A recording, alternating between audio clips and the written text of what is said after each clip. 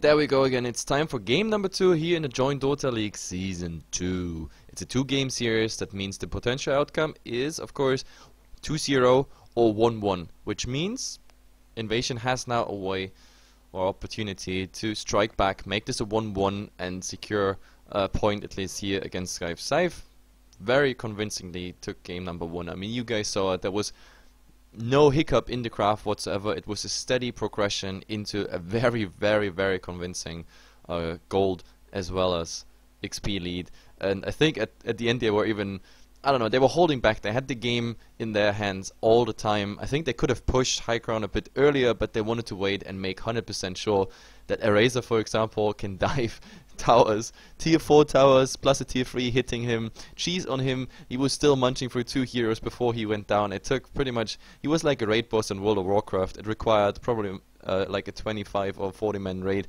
to bring him down. In the meantime, his, his team, they did shared work, they went for the racks, Razor went for the giggles.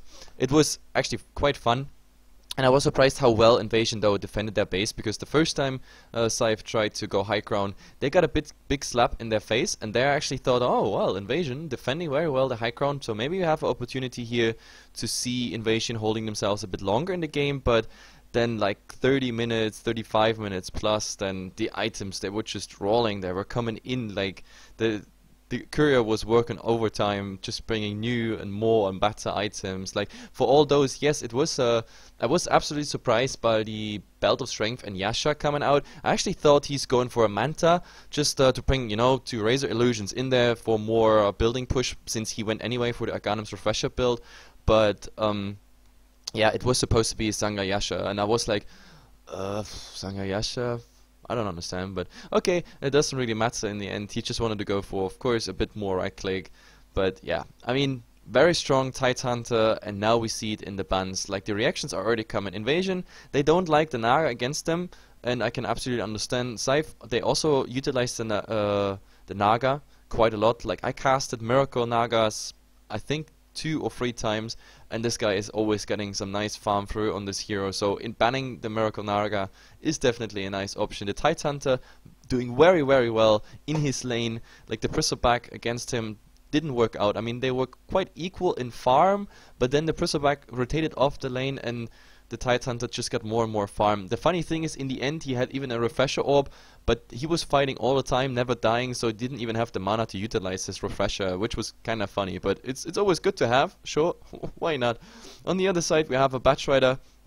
Um, so Scythe also reacting on the picks from the first game. The Rider did actually quite a good job. The only problem was like he found some nice initiations. Some led to a kill as well. The problem is he, he had a fast blink dagger, but from there on his his item progression was pretty stagnant. Like he didn't get more items. Like that was the biggest problem. So even if he initiated, he mostly died while having target still on a lasso and I don't know. So Scythe, the second ban is a Brewmaster, also understandable, and yes, I don't want to see this hero anymore, I just can't see him anymore.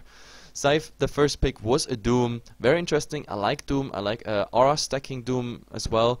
I don't like the mech carrier Doom because I think that hero really should carry a lot of auras, not just by the Devour, also going into it like AC carrier, Shiva carrier, maybe even a Vlads carrier, then going into right click, getting the Alpha Wolf uh, aura at like 20, 25, 30 minutes plus when you go for the heavy team fights. It's amazing what you can get for your team. Like actually we see quite some teams now going for this aura stacking, making sure you have uh, mech, Vlads, pipe, then a Doom in there who brings the Alpha Wolf, a Necrobook, at least one for um, the movement speed and attack speed buff, and of course then the Shivas and the AC is even more to come. Sometimes we see even a Sand King there, so a Veil of Discord for a negative uh, aura. It's not quite an aura, of course, but I mean the area of effect is so huge that you pretty much can call it aura. You can almost catch like five heroes and there. If you have that all, then your team fight is of course very very powerful. So let's see if we see something similar. Invasion they decide to go for Rubik first pick, which is interesting. I mean, Rubik is usually a nice answer to uh, whatever there is already. And I mean, with a Doom up, a Rubik is not too bad. I mean, a Rubik is happy about a lot of spells coming by the Doom now with the Invoker as the second one also there, he, he can get some nice steals off. The Viper, well, we saw it in, in the first game, but to be honest, the Viper, the item progression was not good, and he was driven out of the lane so, so fast. I mean, the only reason they didn't have the first blood and the second blood as well on the Viper was because the Dazzle was really fast with his Shallow Grave reaction. And yeah, but after that, I don't know, he had the mech relatively soon, but the Aghanim Scepter took him quite a while. I think they were already on high ground when the Aghanim Scepter came out, and at this point it was just a bit too late. But let's see, this Rubik stealing, for example, a Doom that would be nice, so he needs to be fast on his stealing trigger. Invasion, they go and ban the Razor, so another ban based pretty much on the uh, on the first game, and now the Bristleback as well, like banned out by by Scythe. The Bristleback did actually quite some work. In the end fight, you saw it. Like he survived very long when he turned his back to the entire fight. They tried to get him down all the time, but yeah, the amount of quill sprays was was quite dangerous to Scythe, even with their advantage in items, especially the HP pool, of course, being a lot higher. But yeah, quill sprays that stack up is always a dangerous thing, regardless. So so far, it, it definitely looks interesting, and two more bans are to come. And let's see what it's gonna be.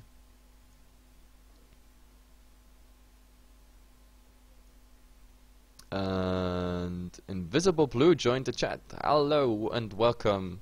This is game number two in a two game series Scythe versus Invasion in the joinDOTA League. I mean, there's a two minutes delay, so in two minutes he's gonna hear it. Maybe someone in the chat actually is gonna answer him faster than I can. But yep, we have the two last bands coming out. Well, last bands for the second duration, I mean, of course. Um, we have the Rasta. Okay, so some pushing potential is going to be taken out. And Scythe is saying, okay, we don't want to have a Chen jungler, plus of course a Chen with uh, ultimate that is able to heal invasion heroes up. So, yeah, Chen also would be the potential mech carrier. To be honest, I don't see too many Chens in the in the last games anymore. Like, I don't know, since the jungle nerf, we already had a decline in jungling heroes. Like in the in the last couple games, we had uh, some Enigma picks because Enigma still being a very nice farmer. Then again, nowadays there's so many ways of interrupting even things through BKBs. It's it's quite interesting that like all those big ultimate heroes they are barely getting utilized and if they get utilized they mostly are getting stacked. Yesterday we had a game for example with Darkseer, Kunkka, Magnus and I think Enigma or was it Enigma or was it a Tidehunter? I'm not sure but there was a, a huge stacking of big fat ultimates. And talking about big fat ultimates, there we have the Ancient Apparition. So Ice Blast is coming out. Ice Blast always being a nasty, nasty spell. Especially against the Doom, of course, because he can't heal up with his Scorched Earth, which is part of his tankiness, of course. Uh, the Invoker is pretty much the same when he runs away. Um, then just shifting into more region, coming back maybe even into the fight after he reached up. So Ancient Apparition, uh, it's of course, he needs fast level, first of all, to get the first Ice Blast. Then the first Ice Blast is really just a, a bit utility, ultimate, and nice in the fights, but the duration is really, really short and the impact damage is is not that big. The burn damage is pretty much non-existent, so mostly the first one doesn't lead to too many kills. But then from level two Ice Blast, it gets really nasty, especially if the Ancient Apparition has some farm, got some nice kills before. So a faster Aghanim Scepter on an Ancient Apparition is always the horror for each and every team. A big fat Ice Blast on a team fight with a Aghanim Scepter, this is always a bad omen for the team fight. And they're gonna couple this up even with a Centaur Warrunner. So there we have the first hero that requires pretty much a Blink initiation. But wow, Scythe, they get a Shadow Demon Mirana combo through in the third and fourth pick. That's definitely interesting. So they forced Invasion into banning out heroes that they know that are being played by Miracle or being played already in the last game. So it's very, very interesting. So Disruption, Soul Catcher into possibly an arrow and a Sunstrike if that Invoker is gonna be Exort. This is looking looking really really really weird. I don't know. Invasion you have to fear.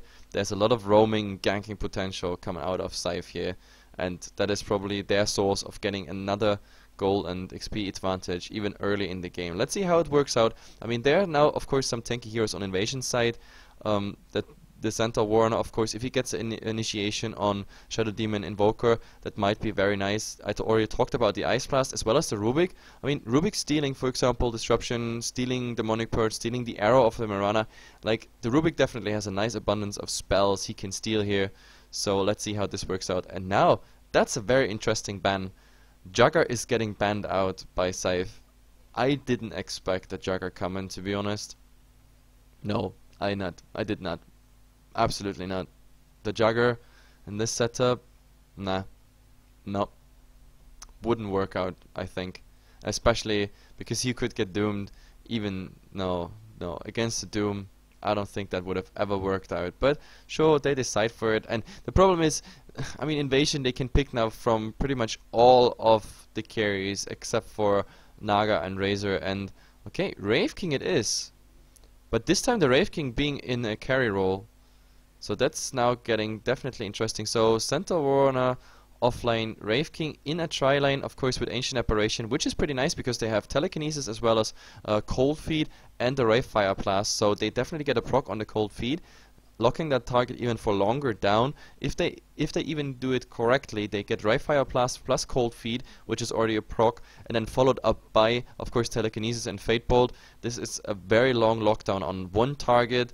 So let's see how this works out. It's definitely a nice tri-lane, but then again, as I said already, Mirana Shadow Demon combination against you, that's not too great. I mean, the Doom might be a potential offlaner. I've seen it already many times. Invoker gonna be in the mid, tri-lane Mirana with the Shadow Demon, and let's see what else is coming there. Another support um, may be coming.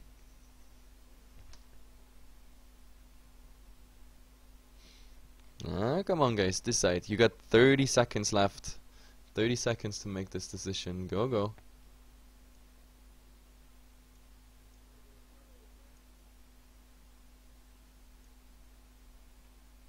And 20 seconds left. They're not, they're holding back on it. They're actually thinking about it. Do they want to go greedy, like really, really greedy, or do they just want to go for a standard build, so the Mirana, Invoker, Doom being enough as carries? I don't know, like 3 seconds, 2 seconds, Wow, that's why they thought so long about it. It's a Tinker, but now with the Tinker, the laning is gonna be interesting. Is this gonna be an offline Tinker getting some experience here and there? I mean, they are on the on the Radiant side, so the Tinker can't really go for uh, Ancients farming there unless he does it actually from the Secret Shop on. I saw that already happening once or twice, but I don't think so. Like, this is gonna be now... Is this gonna be a Doom being in a tri-lane?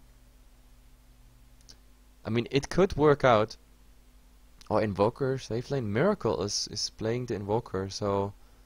Yeah, this is gonna be support Shadow Demon Mirana. Poloson playing the offlane on the Doom. In the mid we're gonna have the Tinker. And, yep, this is very, very interesting very interesting. So going for a fast introduction of the teams, I still I forgot actually to ask about like who are the standards and everything. So we have to go with what we have here. We have ADTR here on the Rubik, followed by Snow and Ghost on the Centaur and the Wraith King. Like EZG is playing the uh, the Viper and FSET playing on the Ancient Apparition. On the other side we have the Stand-in Kai, the mysterious guy who nobody knows where he's from uh, playing the Shadow Demon, followed by Father on Tinker, and the mid we're gonna have Miracle on his Invoker, and yeah, Stand-in Infinite here on the Mirana, and Poloson. He's gonna be the offlane Doom. Like it's gonna be very interesting how they're gonna do. It. Oh, but they actually they spotted out the Tinker already. Tinker heading back into it, but Kai might be in trouble. Oh yeah, there it is. There is the hoof stomp already, and now oh they used the chilling touch, and they didn't even need to. Like that would have been just fine by normal clicks, but wow. But now the Tinker, he has to care as well. I mean, if there's a Wraith Fire Blast, like he could easily die, especially with the poison attack already coming out as a slow. Like now, that's the funny part, now we see actually the nerve of the hoof stomp, like in mana cost, actually has a huge effect, because if you go for an early fight like this, with the mana pool you get, then you need a clarity to get a second hoof stomp off, because now 130 on each and every level since 6.81, that's definitely interesting. But what is Polozone doing here? Ah, he's getting, ah, he's getting the, that was, that's definitely interesting. Sure, he with the invisibility rune would not be that potent. But yeah, Infinite here on the Mirana, landing an arrow, an easy arrow out of a invisibility rune, that might be definitely something. In the mid they need a cold snap actually to get a kill on the Viper, but sure, why not? It, it is possible. I think the Wraith King would be a better target because with level 1 Scorched Earth, I mean he went for Devour, okay, so not that optimal, but they could get an easy kill on the Wraith King, but instead I think we're gonna see a go on the Tinker, which is of course also very nice. We have a Telekinesis coming up, but is there actually a protective ward or something? No, there's nothing. There's just one ward coming out here. And now it's time. Is it the Wraith King? I mean, his invisibility rune is out. There's a lot of creeps there, so the arrow might not land properly. But let's see what it is. I mean, there is theoretically a disruption for easier arrow. He's trying it. I know, I feel it. Like, I don't kill. I just don't want to miss that kill. There's already some uh, cold snap harass coming out in the mid and now yeah he's coming back with just the poison attack. So the second point here corrosive skin I definitely like it. And Kai oh well now he showed up and there's some blinks. But the Wraith King knows he is no he doesn't want to be in that position. He's expected but in the mid we already have a go on Miracle and it's absolutely enough. The telekinesis being used. The poison attack level 2 against the invoker they can't really do anything but the reaction comes instantaneously I mean Kai and Infinite here just come in, And is there an arrow? Oh, there's so two supports from the side. They just smoked up, but now they're seen. If the Viper comes in, that might be very, very bad. He has no leap whatsoever, like Kai. He has to run. So this is now the third kill going Invasion's way. It's looking really, really good here at the start of the game. So, Scythe, you have to really take care. There is even something else, but he has no... Oh, he has no telekinesis. He could have lifted him up uphill here, and so he had to use a TP, which he doesn't have. Plus, they don't even have a flying courier yet. So Doom, Doom is gonna be a very interesting target for them to kill, of course. Wraith Fire Blast not coming out yet, but now it's come as well as the Ice Vortex, and he has Scorched Earth. So Telekinesis following up right now with the Fade Bolt. Fade Bolt, oh, not enough mana for the Fade Bolt, they, but they have enough right clicks. There's actually an, a long ranged arrow coming here by Infinite, but it's not enough. So in the end, he's alive, getting a nice kill. In the meantime, we have Miracle going aggressive on the Viper, but it's just harass damage. And he's getting also quite some damage, of course, just by the corrosive skin. So, so far it's definitely looking interesting. Invasion striking back after this game 1, which was very convincingly won by Scythe. And this time, 0-4, 3 minutes. That's more than a kill per minute, and I absolutely like it.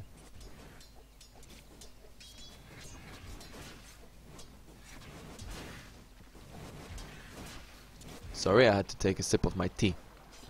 Otherwise, my voice will crash over the day. I still have um, I have two best of threes incoming for me today, and today in the night I have uh, even South American Dota to cast, which is uh, gonna be two more two-game series. So you guys see if my if my voice is crashing on the first game of the day, then I have a huge problem. But either way, we have the Doom trying to sneak here some XP, and he's getting punished with Oh my god, Wraith Fire plus Telekinesis, this is enough. The Chilling Touch, such a potent spell here, so much damage coming in. And the biggest problem about Doom is, of course, he's level 3. That means, um, saying he has pretty much no armor whatsoever. I mean, now he has armor, of course, with Tranquil Boots and everything, but the problem is, I mean, Doom starts with zero armor as a hero. He has pretty much the same armor as a Wisp, which is nothing and yeah therefore like chilling touch plus right clicks and everything it's it's really bringing him down so so far it's not working out for Scythe at all 0-5 and I mean on paper they are a very good team maybe even a tiny bit better than Invasion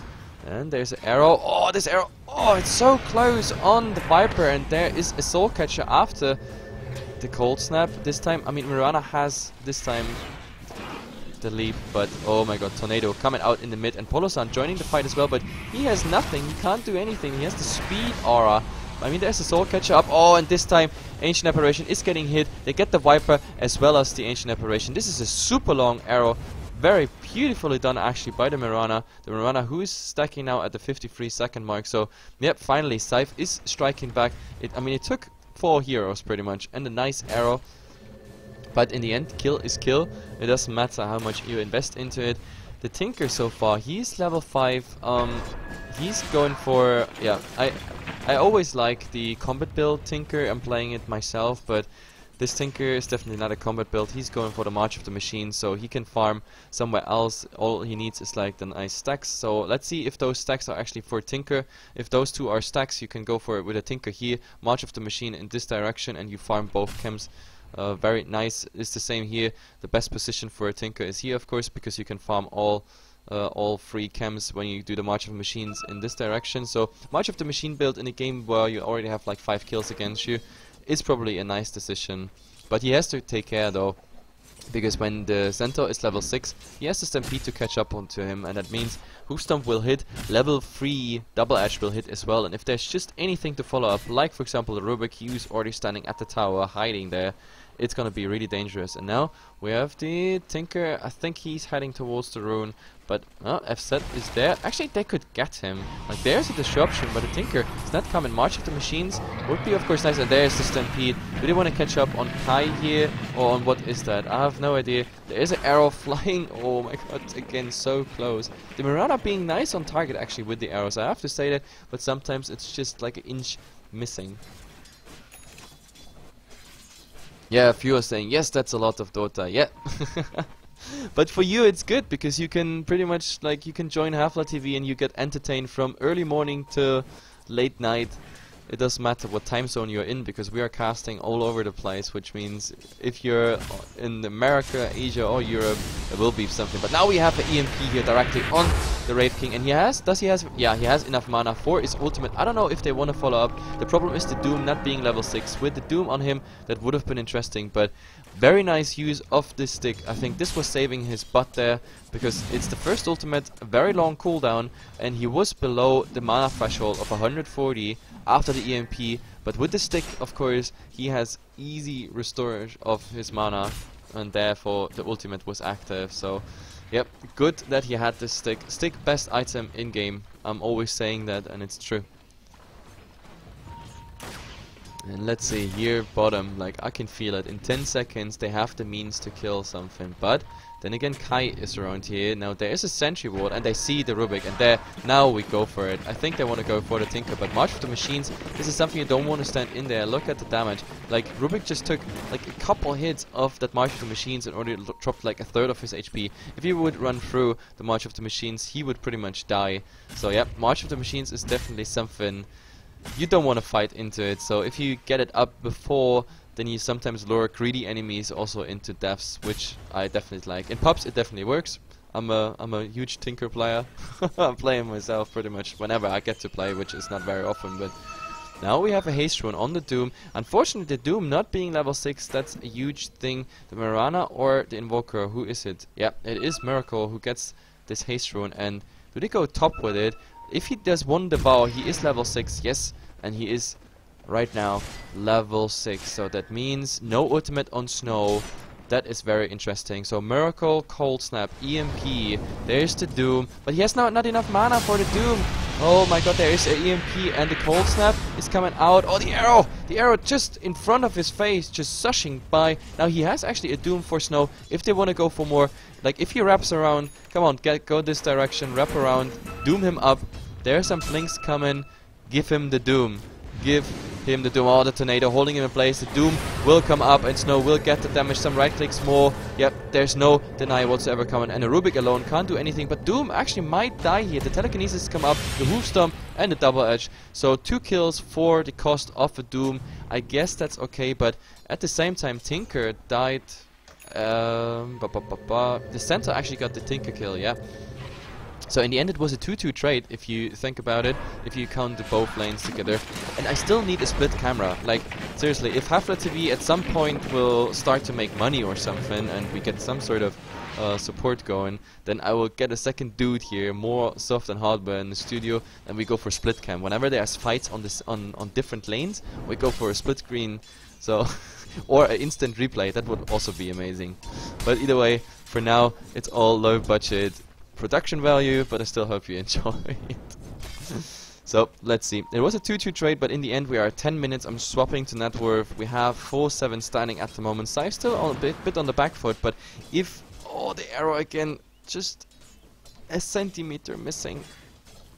But we have more rotations here, and there's the Blink Dagger, the Hoofstomp on Miracle, and now the Viper Strike will come. Do they even need it? The, oh, the Ice Blast is gonna hit, but a defensive disruption buying a lot of time, and they have no vision whatsoever. So in the end, I mean, Viper is getting the kill. Oh my god, poor range creep. He just got stunned and gets denied in the end. So Miracle not going down, that was very important. But the Tinker coming, the Marching Machine will do some damage for sure. Actually, the Viper has to care about his HP.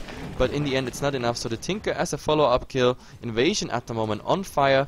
And if that fire is actually real or if it's just a small light, look at it. Yes, it is real. They have a 3k XP advantage and they have a 2k gold advantage. It's not much for, uh, I mean, a 10 minute mark and a 5 kill lead, so Scythe is still well in range to make up for this, especially now that we have an item like uh, a Hand of Money here coming in, Hand of Midas, aka Hand of Money, and Yep, a Doom will be always scary because Devour is ticking on level 4, he gets the max bonus gold, he has the Midas now ticking every uh, one and a half minutes, so let's see how his farm is going. There is the BOT stun on Father, that makes him of course also very very mobile. I like actually his approach, he went without anything, there is no bottle, no soaring whatsoever, he really just went for instant BOT rush, so he's as mobile as he can be at 10 minutes. And without bottle, without soaring, getting um, your BOTs at 10 minutes, it's not bad, even for the, especially for the fact that you died already twice. So someone who died twice and still doing that well, in my opinion, it's all good.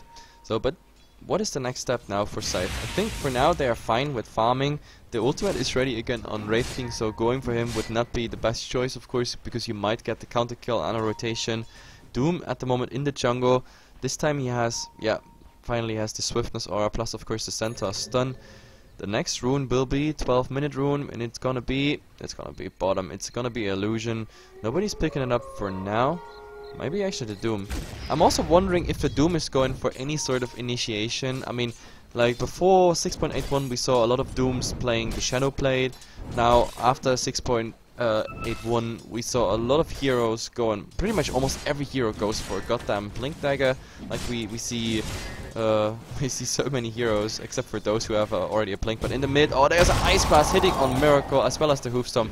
Was so down. Like, even if he would have swapped into the um, Ghost Walk, you can't remove it, the Ice Blast debuff. He would have shattered. In the end, they push the top tower here. There is an arrow flying from the side, not hitting anything. Instead, they go on the Doom, but Scorched Earth is there, and the Doom goes on the AA, so there will be a lot of damage. There will be... Oh, the Doom was stolen, but they buy some time, of course. The Doom will still go down here in the end. Maybe a deny, no. Fade Bolt will finish it, and the Stampede will buy them now the time they need to get out of here. Do they even want to finish up? No, they don't want to. So in the end, that was not a good fight for Scythe.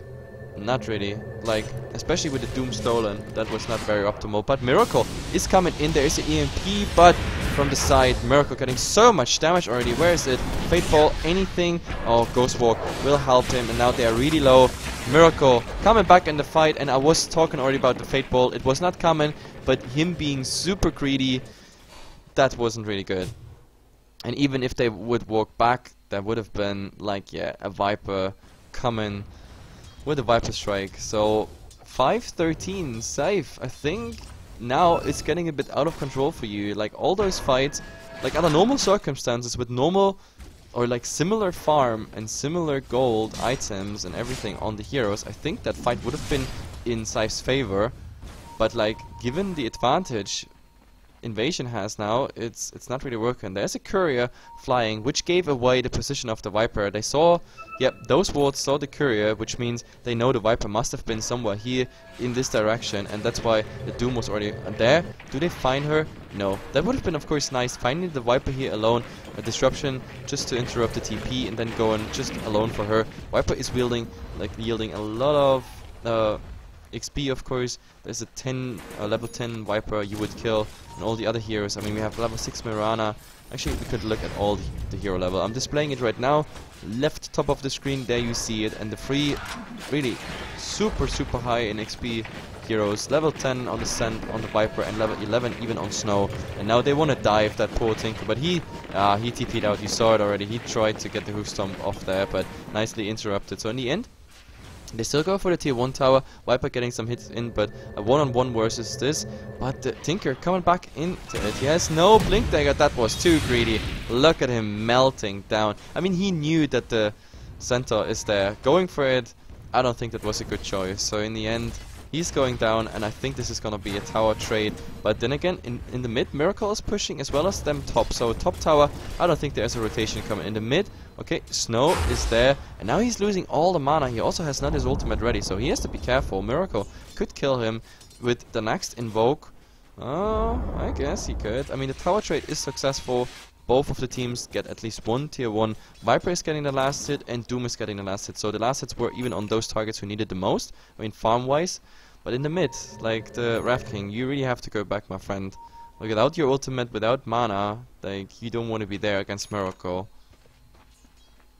I'm actually a bit disappointed about what we saw so far from the disruption and arrow combination. I think we didn't see a single one yet. All those arrows they were trying to fish like on their own and oh my god Stampede's coming out this is one is for Invoker and they get do they have vision yes the dust is coming out directly after the EMP will hit pretty much all of them now defensive disruption buying some time the Tinker is there with March of the Machines that's a lot of damage and the Rubik is getting even doomed up. So who is going down? That's the question. A lot of damage March of the Machines. Rubik is getting denied by the Viper. Really nice reaction there. Snow still has to be careful. No ultimate. Maybe they come back from the side. I don't know. At the moment, this creep here is the scout for Scythe. So they can go back, but it will be seen.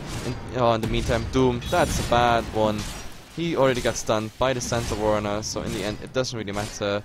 Like even with that arrow on the Centaur, they still lose the Doom. So make this a 1-1 trade, but it is a support for a core pretty much. It's not worth it. It's not really worth it. By the way, Father now he finished the bottle and the Soul Ring after the BOTs, so he has the time now to transition into anything. And we have different approaches to the Tinker, and yes, Tinker for me, I talk a lot about it because I love the hero.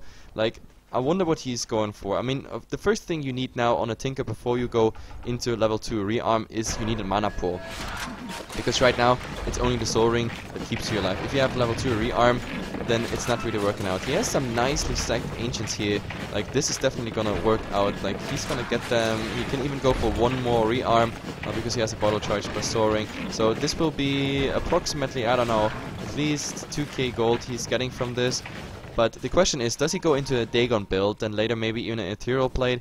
We also saw Tinker's uh, trying for the Aghanim Scepter build, where the Heat-Seeking Missile, of course, is, um, say it, is buffed. The amount you do there is buffed, which is nice if you try to hold a team back, especially if a team has an advantage and you're standing high ground, you just spam those rockets as well as March of Machines. It's really hard to break uh, into like high ground or even towers, but the Dagon build is of course also very nice because he has potential targets he can nuke down really really fast with a high level Dagon. That would be, for example, the Rubik, that would be the Ancient Apparition. The Wraith King, well, uh, at the moment he has nothing against magic as such. The Viper of course not being a good target because of corrosive skin, but sometimes it's still enough to just burst him down. And well, I think yeah, the Centaur Warrunner already having a casual cloak, now even upgrading it to Hood of Defiance. So Magic damage wise, also this Centaur not the best target, so I don't know if a Dagon build, for example, would be interesting. But now, oh, we missed a kill here on uh, the Rubik. He actually stole the Ghost Walk before, but now do they go on Snow? Does he have enough mana? He has enough mana for the ultimate, so he will go down the first time. Are there any rotations? I don't think so. Oh, the Doom as well as the Arrow. The rest is just about right clicks. I don't even think they needed the Doom. The Doom was kind of wasted. Then again, well, it's a relatively low cooldown, just one and a half minutes. But in the meantime, while they get those two kills, oh my god, oh, what a nice blink out by the Tinker. That was really last second reaction there. If that hoof stomp would have gotten through, then an easy kill with weapon Strike and a poison attack. Now, they of course get the rocket spam here, but you, you see the rockets are doing very limited damage on those two targets. I mean, the Centaur, like he didn't even take a scratch there. Hood of Defiance. Well, AA and uh, Viper, well, they do much better.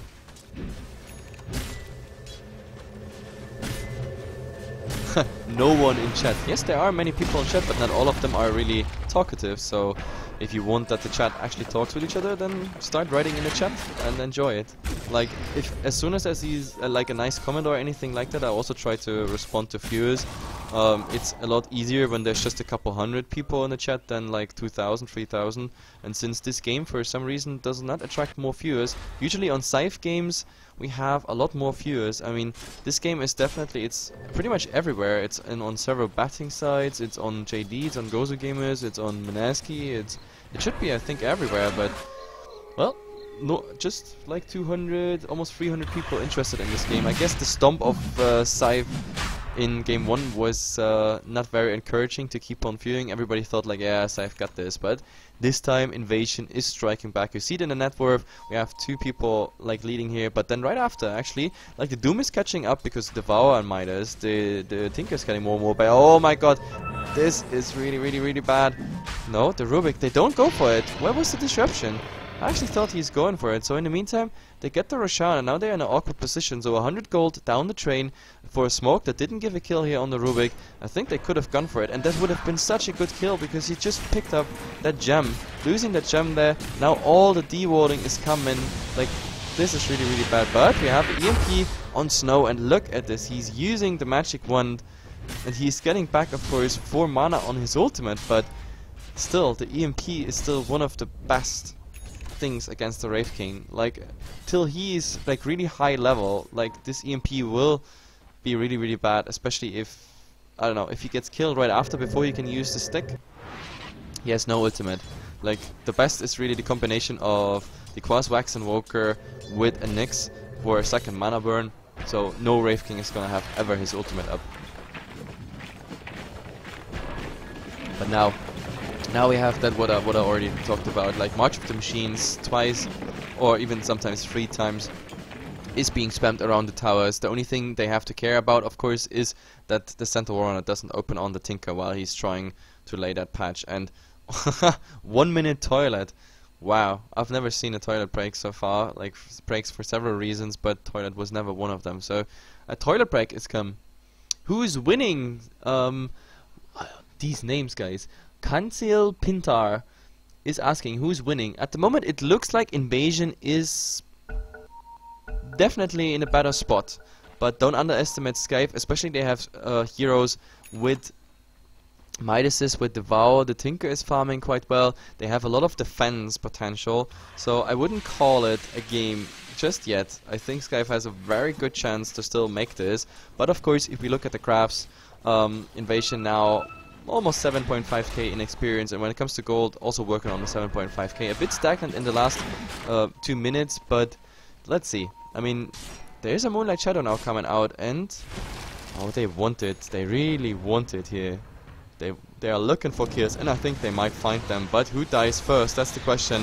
Snow oh my god EMP and everything did not hit. Now the dust is coming out so Invoker there would be, theoretically, the Ghost Walk if he can still... Oh, the Tornado stolen, but there's a lot of damage now. Oh, the Centaur got the Doom. The Tinker now getting all the damage by Snow. There is no rearm. He will definitely go down. And now, in the background, Ancient Apparition already got the kill on the Shadow Demon now. Wow, they just clean up. It's a miracle that this Doom got out as well, of course, as the Mirana. He just tried to do something with the arrow. This means tier 1 tower, free down by Scythe. They are losing control of the game. This was too greedy. I mean, they tried to get here, in this area somewhere, a kill, but in the meantime we had one coming here, then the other ones coming here, so they were absolutely surrounded from three sides. And if they are not fast back, and if the Tinker especially doesn't spam his March of the Machines, this translates into two towers at least down. Tech Labs Cup Oh, no, I don't think so, because Tech Labs, these are CIS teams. Of course, many people are there, especially because uh, TobiWan is uh, streaming it. We were streaming, by the way. Um, it's not just that JD does everything, like TobiWan does only the LAN event. We actually streamed the qualifiers. So some people might not know this, but Tech Labs, all the qualifiers were, were streamed by us on HeflaTV here, but for the big LAN events, of course, they went for either Beyond the Summit or joinDOTA, and yeah, I think joinDOTA got the official rights to stream it. How many people are there? Like, now you made me interested, okay? There are 20,000 people watching it, but only 13k on JD Red. That's not much for the fact that it is JD Red, to be honest. So... I don't know.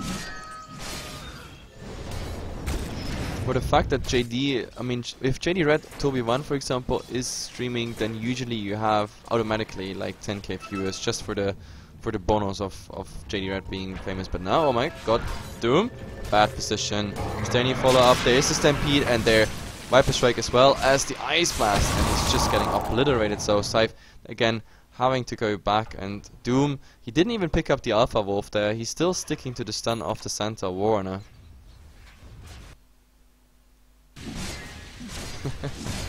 Puppy toilet. That's also a nice post there. Shout out to Mr. Van Rizzo. Puppy toilet. That's the new puppy paws. Oh, there's a tornado looking for something, actually for the Tinker, but they won't find it. And now March of the Machine, of course. That's really nice. The pipe timing is perfect. Now, of course, with the pipe, they try to absorb some of those of this damage. But yeah, Tinker is spamming. There's actually an arrow, and this is going to be a very long arrow on the Centaur Warrunner. But look at him. He doesn't really care. 18.2 uh, HPS. That's a lot. Miracle at the same time, he's trying to do some split pushing from range at the moment. I don't know if Invasion wants to defend their tower or say hello to the high ground, baiting out maybe even a rotation back. Miracle now hiding. Maybe he tries to go on snow. I don't think EMP is enough, especially with the magic wand. So going for him, I don't think that's an option. So the Wraith King also getting really, really scared to be honest. Now Blink Dagger for the initiation. Mjollnir, of course, with the magical uh, Chain Lightning coming as a source of damage. The crit is already level 4.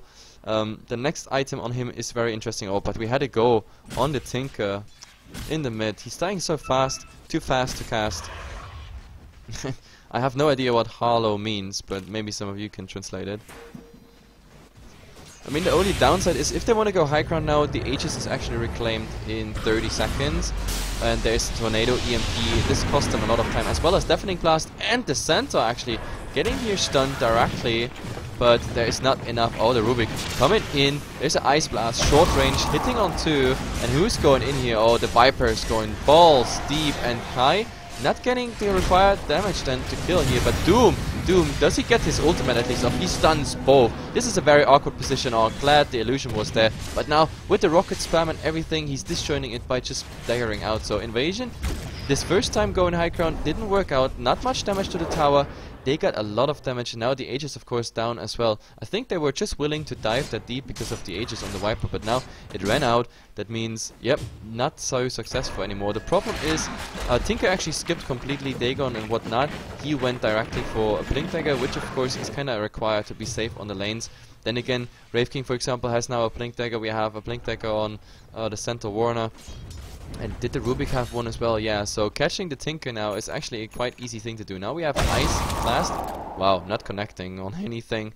But yeah, I mean Scythe, they still keep themselves in the game. Looking at the crafts though, it's spiraling out of their hands. So it's 14k almost in gold and experience. So this is something really, really hard to come back from. But Scythe is not given up yet. I mean, as long as the base is standing, it's called I mean, it's called Defense of the Ancients for a reason. You only have to defend it and strike back and kill the other one. That's the entire goal of the game. We saw already a lot of throws, and we also saw a lot of games being thrown where you had like, what, a 20k advantage. And I think our statsman, he said like last game, um, at when someone has like 15k advantage at 30 minutes, um, there is not a 100% win rate. If someone has 20k at 30 minutes, that's a 100% win rate. So right now, we are at the 28 minutes, it's not yet 15k, so there is, by stats at least, still a good chance that, yep, that Scythe can win this. But let's see, the first try here is on Snow, there is an EMP, it's not enough for his ultimate at the moment, and yeah, he will definitely go down, but there's the instant return, but BKB and TP out, so in the end it was Snow for Miracle. I guess okay trade, just because um, the Wraith King having his ultimate up and not being used because of the EMP, that's definitely nice. And of course he he's yielding a lot more um, gold than anything else. I mean this was, no it wasn't even a killing spree, unfortunately not, but if you compare the, the level for example, that was a level 17 kill and a level 13 and level 15 hero did it, so on paper at least it it's okayish trade. The big problem is also they have no vision whatsoever. Like there is here observer ward, it's scouting out exactly what they do here in front of their base, as well as like doing here those those pushes. It's I don't know. I I, I don't really like the fact that yeah, we didn't even see a gem attempt whatsoever. Or actually, there is a gem on the Mirana, but the Mirana just not in range. There is another observer ward just scouting out what's happening here. Ice Blast was hitting pretty much nothing, but now the initiate by the Rubik, but more and more just for harassing. And he gets Devour. Okay, that's that's interesting. So he can eat the next creep, or he's gonna even eat. Yeah, he's gonna take that th Smasher for Thunderclap. Look at it. No, he does not. He does not. Okay, that's interesting. He could have gotten like the thunderclap there, but he doesn't want to. That's interesting. Sometimes it's always good if you have a bit more nuke. But either way, we have, of course, now a big, big task ahead for Invasion. They have to push through a March of the Machines. But they have Blink Dagger initiations, which means they can even skip to the side and just go for it. The Viper at the end, I mean, at the moment, he doesn't really care Oh, there's the EMP, there is the Tornado. Viper will lose a lot of mana, as well as the Rubik, of course. There is still the Rocket Spam. They used the Dagger just to disjoint it. The Arrow, again, just a bit off target. So in the end, the Tinker, yeah, they're pushing Invasion out. So they want the second Roshan, which is up now. So it's no cheese yet. But of course, the Aegis, I guess, on the Viper again. I mean, why not? Yep, Viper, I mean, super tanky right now. Of course, Aghanim's the heart is, is done. He has a thousand gold up his sleeves at the moment. The Aegis on him is, I guess, the best choice. And for the, the next round of potential high ground.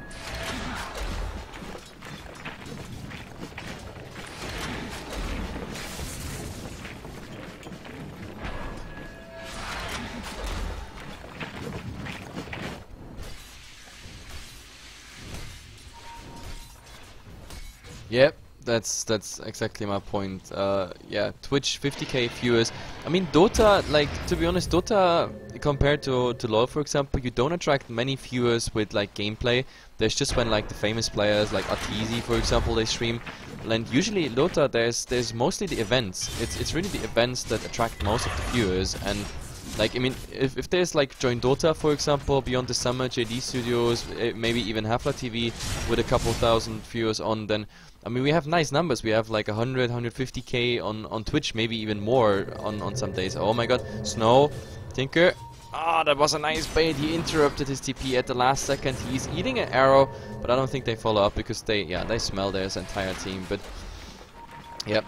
But everybody who loves Dota, like, he doesn't, you, you don't care that, like, LoL has here and there, of course, some more viewers. I mean, really, who cares? Because Dota 2 is still growing fast, especially with the current TI and I'm pretty sure around the TI we also have like a lot more views than LoL. So you shouldn't worry about it. You should just, you know, join the streams, enjoy the cast, and oh, Snow wants to go aggressive. There's just a little harass. No, it's not just a little harass, but a defensive disruption. So Ice Blast is for nothing, and Snow is getting so much damage. The Doom is getting out, but BKB used this EMP. It's gonna hit a lot of them. Like they are pretty much um. There is a Doom on the Centaur and Snow dies the first time there is on the arrow. I don't know where this one got soaked up, but Invasion again. No way they get on this high ground. It's absolutely amazing with defensive disruption, BKBs and everything. I mean, the Centaur survives this ultimate, but still, no way they go high ground. It's it's just amazing. Like Scythe, they're holding themselves in the game. The only downside is Invasion. They're farming much better, of course. They have the game, but look at this stagnant graph. Like since what minute 25, 26, the last time I showed the, showed the graphs, they barely have any progress in their direction. Hardly, like they gain 1000 advantage. Everything stays the same, and if they have a nice turnaround fight, Scythe suddenly finding themselves like equalizing, or at least down to like 10k, 9k advantage only for invasion. So this game is far from over unless they really manage to break one uh, one Rax here, and at the moment, well, it looks like they want to. There is a double damage on the Wraith King, but uh, short duration though. Like, Miracle is farming now here the jungle, so trying to optimize the farm a bit, but they want to go high ground again. They need him back. He needs to come. Come on, where's the TP? They need you. They definitely need you. March of the Machine is of course taking care of a lot of things. Polo Sun now, oh there's a nice arrow on Snow. I mean he still has his ultimate so it's all good. The EMP is coming out as well and Deafening Blast so he goes down the first time. Ultimate back, he just keeps hitting the tower. March of the Machine still ticking. Invasion just can't break it at the moment. It's amazing. They just can't break this egg ground. I mean, the tower is losing. Like, I think Scythe would wish they had a Treant Protector now instead of, I don't know, for example, that Mirana. So useful was the Mirana. Uh, the Mirana wasn't that useful in the game, to be honest. But now that I think about it, I mean, there was two or three nice arrows, but the rest, I guess the Moonlight Shadow was was still nice. But now that the gem is up on both teams, also not too good of a pickup anymore. But yeah, it's it's funny. Like for 15 minutes or more, they still try to go for high ground. But now, oh my god, Tinker, you have to care though. Snow is here, but he's already TPing out. Like, March of the Machine, like, on both here. Snow getting even quite some damage on that, and... Oh, Ancient Apparition just picked up an invisibility rune. Not that it matters, but it's all good. I mean, Tinker now farming the lanes, pushing out the lanes. We have the Doom now. Yeah, he's he's getting a bit more ballsy now. Does he? Oh, okay. I thought maybe he's swapping the aura, so he's still sticking to Swiftness aura. And to be honest, I think it's time to eat Alpha Wolf here. This Alpha Wolf, the aura is of course coming out just for him. He's getting the critical chance, but this is interesting. Like 30% bonus damage. I think they need it by now on the team. I mean, Invoker goes into uh, some right click here with the Maelstrom. The Mirana would maybe be soon interested into something. And okay, there was uh, just a little EMP tornado, whatever, coming out. Snow getting no, he wasn't even caught in that EMP. So in the end, back to high ground, and Invasion is going for another try. But March of the Machines will just wait for them. There is number one, number two, and now with the Shivas and everything, like he has really like an awesome push potential. Oh, when stolen arrow is flying by Doom. Now Doom having a huge problem here, and he's gonna, Snow is gonna go down the first time, just in the March of the Machines, but Doom, does he have a buyback? That's the question. Yes, there is a buyback on Doom. The tier 3 tower is going down. There is a new... Oh my god, this time Snow. There's no ultimate up on him as well as, of course, the mana burn. There is a lot of burst damage, of course, coming here by the Tinker. But finally they achieve to get the tower down. This arrow won't hit anything. There is more spam of Viper Strike. Poloson has to be really, really careful. Like, I mean, he still has the BKB as well as the trumps, but Invasion just coming in, killing the tower, going back. I don't know how often they want to repeat it. I guess if they go like this, then sure, why not? Then getting next time a Rex, slow siege, bit by bit. I guess it could work out, but I'm still waiting for all out in for Scythe. The problem is Scythe has no carry whatsoever. Nobody who could right click against those heroes. I mean Doom no right click items whatsoever, just a BKB giving him some damage here. Mirana, far away from any right click whatsoever. Him getting like a Maelstrom, getting some level would be the next step, but I mean he's level 9 compared Look at this, like the AA and the Rubik on the other side they're level 13, so those supports, they really need levels. That's the biggest problem at the moment for Scythe. I mean, Mirana would be one of those candidates in a really, really late game who can rotate into some more damage, but I just don't see this happening. Also, the Shadow Demon not having any items whatsoever. Uh, it's it's actually a miracle that he has a Force Staff, which will save him or allies, of course. Now, Miracle, he's looking at top, and actually, he might actually he might get a kill on the Rubik if he gets him with EMP and a Deafening Blast afterwards, plus right clicks with the Mjolnirs on him. It could work out, but I guess with the Ancient Apparition around him. By the way, Ancient Apparition, I forgot to mention, like 30 seconds ago, he got uh, Aghanim Scepter.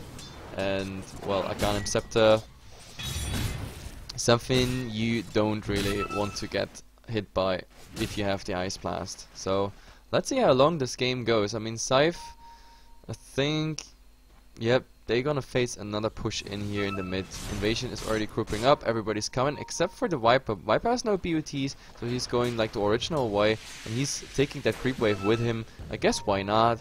So, oh, but in the mid we already have a Ghost Snow, already hitting through that Shadow Demon. Nice initiation, the Ice Blast is absolutely off target, but of course they can go for high ground now. The Viper is coming from the side actually, and they get the kill on the Tinker. Now all the buybacks are coming. Miracle doing some damage as well. Now the Viper being stunned in a very awkward place. There's a double Starstorm, but still surviving. Hoof Stomp on two. But I think Centaur, this time you're going down. Yes, Centaur is going down. That is also a jump on him. Like there's a nice arrow, but the arrow is not connected. Now they're all blinking away, but Miracle is on the hunt. He's with the Ghost Walk up here. Now the Viper being slowed. Like pretty much all of them slowed, but Snow, Snow I think found Tinker. Tinker awkward position. Yeah, and he's instantly blinking out. Like that, the Centaur went down with the gem. That is of course very very awkward. Theoretically, uh, Miracle could just scout it out. So in the end, they don't lose a Rex. Still, they just lose uh, a high value kill here on the Centaur Warrunner. But oh, Ice Blast not hitting on the Mirana. The funny thing is, if that Ice Blast hits on the Mirana, and if that would be level 3,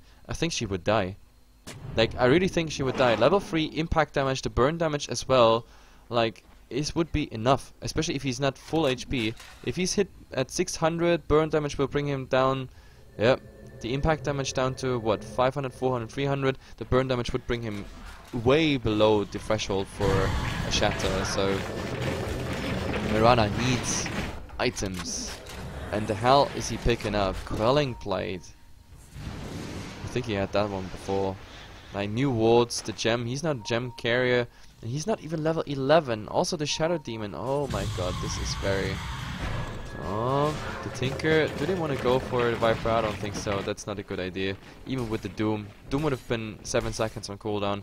And I don't think they killed the Viper with, not even with a Doom. Plus, of course, tier 1 tower is still standing, even though it's on low HP. That's the biggest problem for, for Scythe. They don't, they lack the gold of the towers. I mean, towers being low is one thing, but getting them down is the other thing. Tinker's doing now a nice job, of course, um, like defending the base on the one hand, pushing out the lanes on the other hand. We have Miracle pretty much doing the same job here, top. So they cost a lot of time for uh, invasion at the moment to get back to high ground. Like, if there was split push possible for invasion, I think they should do it, like, pushing at least two waves out, but, oh, Tinker, he's disjointing that... Oh my god, there's a Deafening Blast on Tinker, and it actually worked.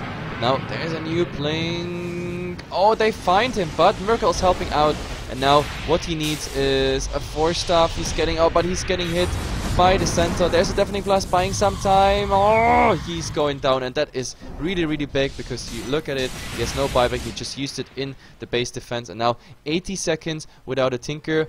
If Invasion has any anything to do, then they should do it now. Oh, but the Doom BKB out, but look at the damage from uh, the Wraith King. If the Wraith King had like another good, decent, de like item they could actually go for a kill. But the funny thing is, Invasion, they don't go high ground. They decide to go Roshan. I think they should have used that window of opportunity to go high ground, because without a Tinker March of the Machines, I don't think there's a lot Scythe can do.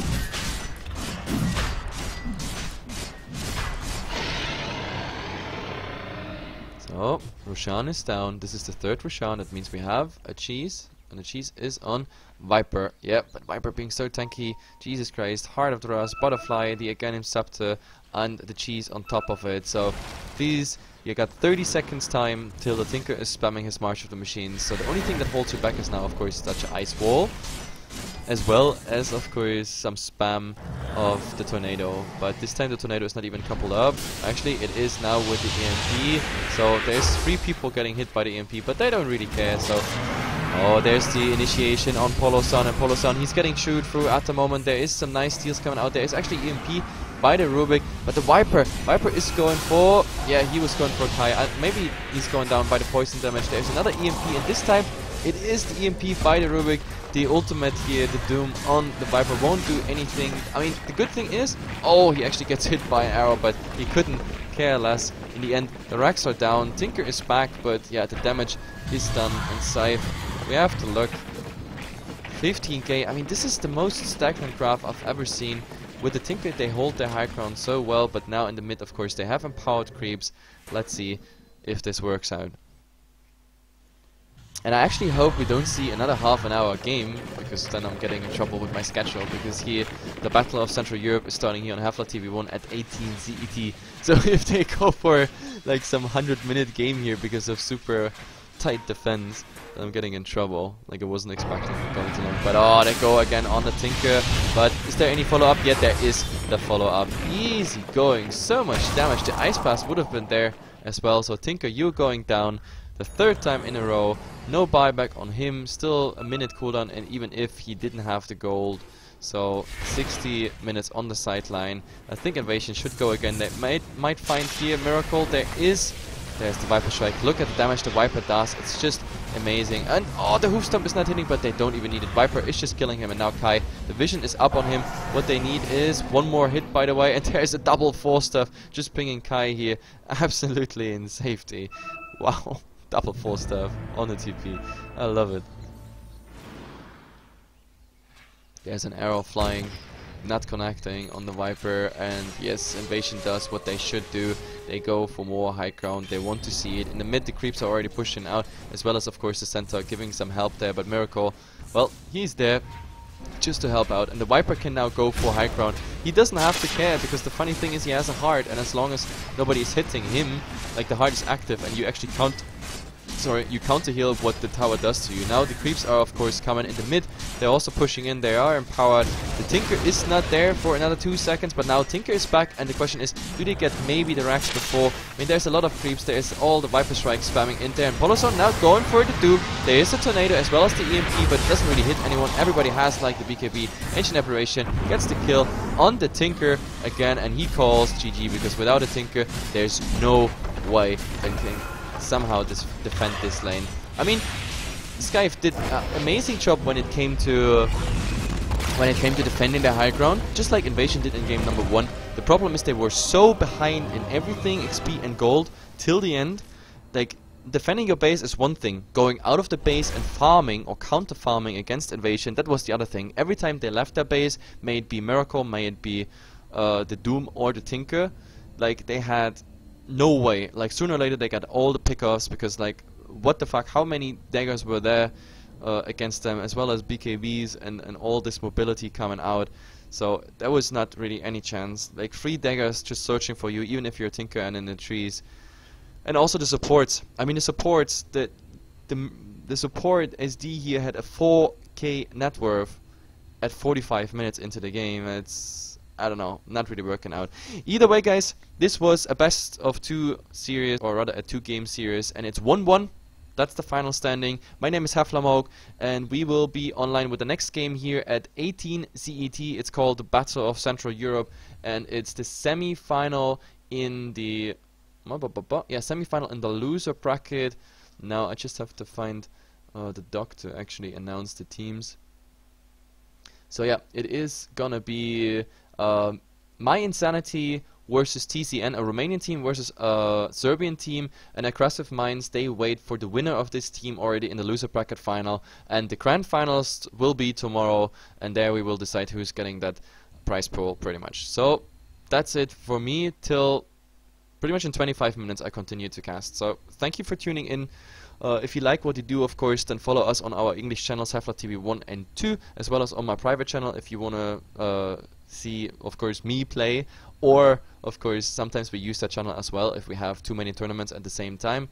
And yeah, on Facebook and Twitter you always will be informed about the next games. And that being said, guys, thanks for tuning in. In 25 minutes, the next games are coming up. Everything will be ticketed as well, of course, on GosuGamers and several betting sites whatsoever. So you will find me there. You can bet, of course, on those games, on those, uh, on our games as well. Like for example, Dota 2 Bestiolo picks up a lot of JDL games if you don't know that betting site yet. Either way, some music, some some ads, and then I will be back.